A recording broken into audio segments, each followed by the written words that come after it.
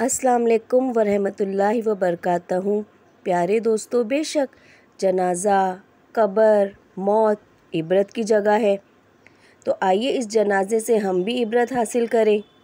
तो किस्सा कुछ यूँ है कि एक जनाजे से फारिग होते ही एक बाबा जी कब्र के करीब आकर खड़े हो गए और पूछने लगे, यानी वहाँ आसपास जो लोग जनाजे में शामिल थे उनसे, बेटा, बताओ अगर ये शख्स अभी दुनिया में वापस आ जाए तो क्या करेगा? बाबा जी के इस सवाल पर एक दफ़ा तो सबको झटका लगा कि क्या बात बाबा जी कहने वाले हैं। यानी मुर्दा कभी वापस नहीं आ सकता ना। बाबा जी मुस्कुराए और बोले, मैं इंसान ही हूँ, सवाल का जवाब कोई देना चाहेगा? एक दो शख्स हम आवाज़ होकर बोले, नेक काम करेगा, अच्छाई के काम करेगा। इतने में पीछे से आवाज़ें गूंजने लग गई, जैसे उमूमन होता है कि एक आदमी बोला तो सभी अपनी अपनी राय देने लगते हैं। एक आवाज़ बाबा जी के कान में पहुँची। दीन का काम शुरू कर देगा। एक आवाज़ आई, कुरान और सुन्नत को पकड़ लेगा।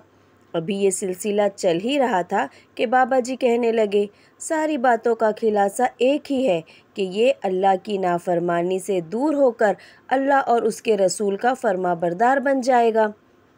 लेकिन पुत्र, बात यह है कि ये कभी नहीं आएगा। हाँ तुम लोग जाओगे। यानी हम सबको भी मौत का मज़ा चखना है ना? हम सबने भी कब्र में जाना है एक दिन। ये कभी नहीं कर सकेगा। यानी ये नेक अमाल कभी नहीं कर सकेगा। लेकिन तुम लोग बाहर हो। इसलिए तुम लोग वो करो जो ये करना चाहता है।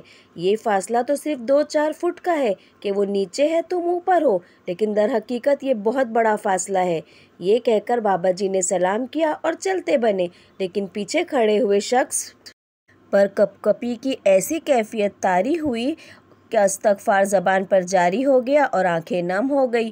काश हमें भी किसी जनाजे से इबरत हासिल हो और हम भी फ़िक्र आखिरत में गुनाहों से तौबा करके नेक अमाल करने लगे।